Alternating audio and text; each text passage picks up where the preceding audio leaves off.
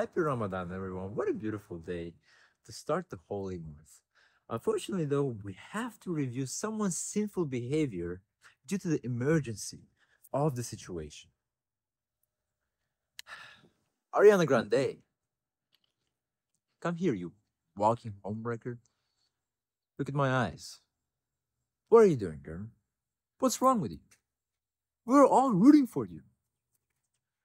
Remember how you used to dream about your soulmate and live with him happily ever after? And you had that with Dalton Gomez. All you had to do was to stick with him. But no, you ruined. And one for whom? For SpongeBob? My name is Bob. I'm a better SpongeBob than he is. Look at me. And I used to fantasize about you, Ariana, but not anymore. Going after married men with kids, ruining their families? Nana. I admire your musical talent, but I cannot enjoy your latest album due to this behavior. So fuck your album. I'm still gonna listen to it though.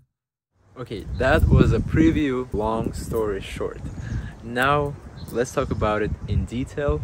Ariana Grande dropped new album, Eternal Sunshine, and I personally, musically, musically, I like the album. The production is really nice. Max Martin did a really good job. Ariana Grande, of course, nobody took away her talent, right? Despite of her controversies and whatever, still, the music sounds really good. It's just the lyrics. The lyrics are reflecting what is happening in her real life, correct? So this was the first time when I was listening to Ariana Grande's music and I was thinking, uh, well, I don't really agree here, or I was seeing the music in a different light, and I had that similar feeling when you listen to people like Kanye West, or Drake, or Taylor Swift, or R. Kelly.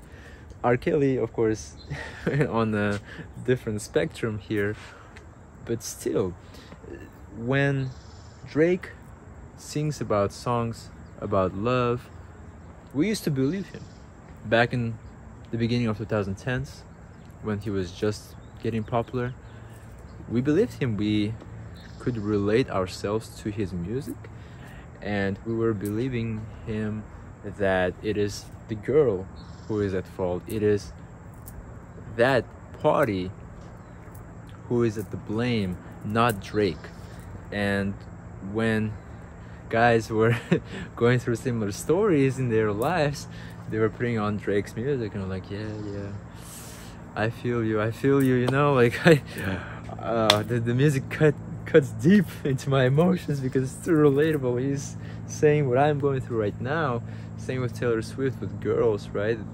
Girls love Taylor Swift for that real, uh, relatability factor, and yet both of them, in their narratives, for me at least, it's not really believable anymore what they sing in their songs, especially Drake, who is 36 years old right now, I believe, and still talks about the relationships in a similar manner that he did in 10 years ago, uh, putting on the victim mentality, blaming other party, don't really take responsibility for his actions, when in real life we saw that Drake was at the blame for a lot of his past uh, toxic relationships. Kind of similar with Taylor Swift, but not to that extent. Taylor Swift, at least, she does have songs where she admits that it's her fault, and and that's essentially one way to redeem yourself. What Ariana Grande is not doing in this album cycle, and last year when all those news about Dalton Gomez and about Ethan Slater, they all sort of piled up on our uh, feed. She was not addressing those things, or if she addressed them, it was very vague and it was them, not her. And I understand if I might not have enough research. Yes, I, we we we are all just guessing, correct? Because we are not in their circle, and it's not really our business either, to be honest. But at the same time, like, ugh, you have that icky feeling when you discover that Ariana Grande is probably actually in the wrong, and that wrong thing that she did is quite disgusting, you know? And like I was talking in the beginning of this video, you went for a man with kids, right? Ruining their families. It, allegedly, that happened. Ethan Slater was married man with a kid before they did their wickedness with Ariana Grande in the movie Wicked. And it's kind of messed up that there's both actors in that scenario or in their families but then like broke their families hurt their current relationships at the time just to move on to the next person when they're already married tied a knot and when i talk about these things i hope that karma will not catch me i hope that when i talk about someone in judgmental way it will not come to me as a boomerang. I really do hope so. But as a content creator and who wanted to talk about Ariana Grande's new album, I can't really talk about just Ariana Grande's music because the lyrics are about this particular situation. So it is technically reviewing the album and I kind of am facing similar situation that Anthony Fantano did a couple months back when Kanye West and Ty Dolla Sign dropped Vultures 1. He called it unreviewable. I mean, it's not unreviewable, but and I don't have the same sentiment that Anthony Fantano shared about Kanye West and Kanye West being my favorite artist. I do love his music. There's whole thing of separate separate art from the artist. I sort of have that with Kanye West only. I think that's the only person. Well, I, I guess Drake too a little bit, but I've learned to listen their music and just enjoy it for their sonical presentation and how it makes me feel rather than dive deep into the meaning of the lyrics and when they say something that I don't agree with, like yeah, I just uh, okay, yeah, I mean, I brush it off and just you know keep moving forward. With Ariana Grande, I think I should do the same at this point because it was very new to me. This feeling was new. I never thought about Ariana Grande's personal life when I was listening to Ariana Grande's albums. It was just uh, enjoyment factor. I was listening to distract myself, enjoy myself, have a good time. But now she's talking about her love life, which she did do that before too, but at the time it was not with the light of, oh, Ariana Grande, you're a homewrecker.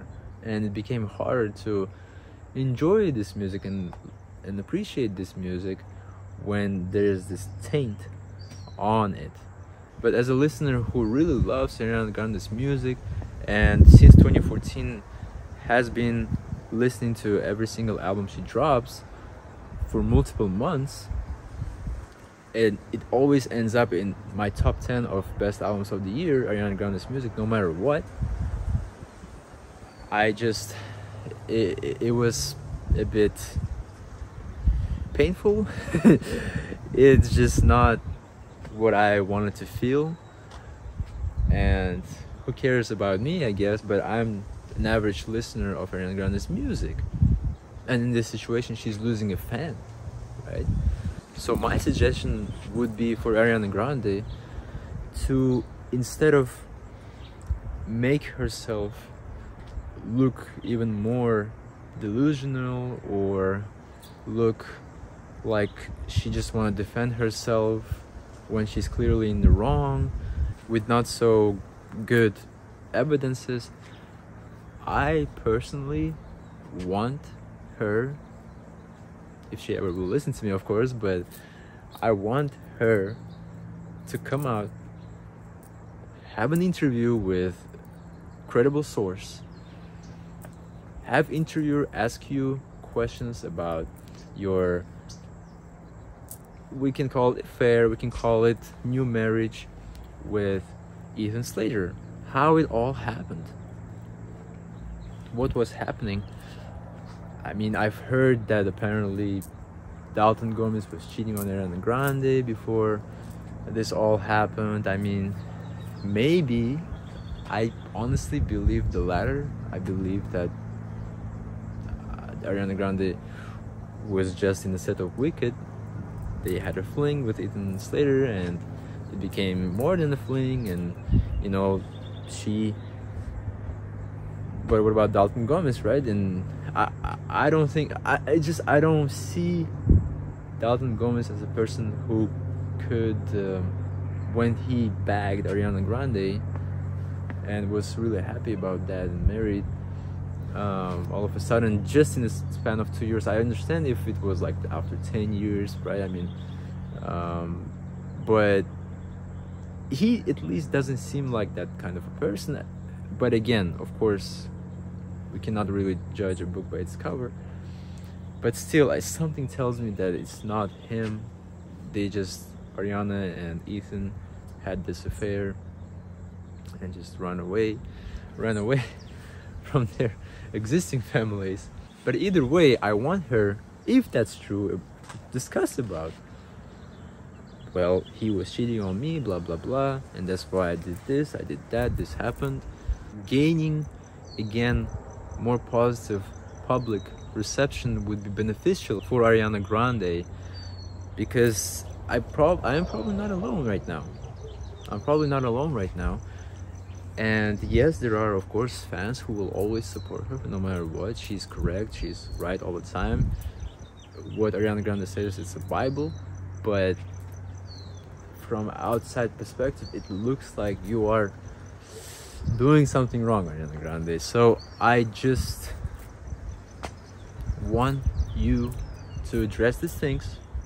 I want you to properly justify your actions somehow or show the narrative that you believe in which makes sense in your head which makes it in your head not wrong.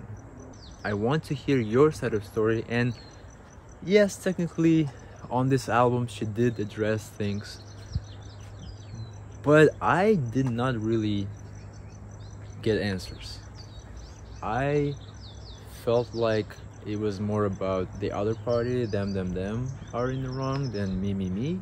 I felt like there was some accountability more accountability was needed to be present on that album to be really like okay tune in and like listening oh what's going on?